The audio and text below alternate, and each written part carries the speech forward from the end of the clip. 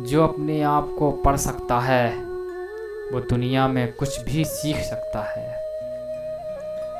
तकदीर ने यह कहकर बड़ी तसल्ली दी मुझे कि वो लोग तेरे काबिल नहीं थे, जिन्हें तुझसे दूर किया मैंने। कमजोरियाँ मत खोज मुझमें, मेरे दोस्त। एक तू भी शामिल है मेरी कमजोरियों में।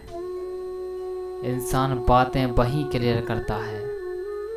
इंसान बातें वहीं क्लियर करता है जहाँ उसे रिश्ता रखना हो। वरना लोग तो कहते हैं कि अच्छा हुआ जो जान छूटी।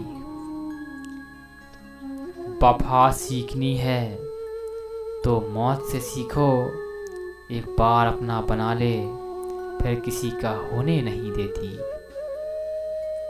खुश रहने का मंत्र मन मिले जिससे रिश्ता रखो उससे।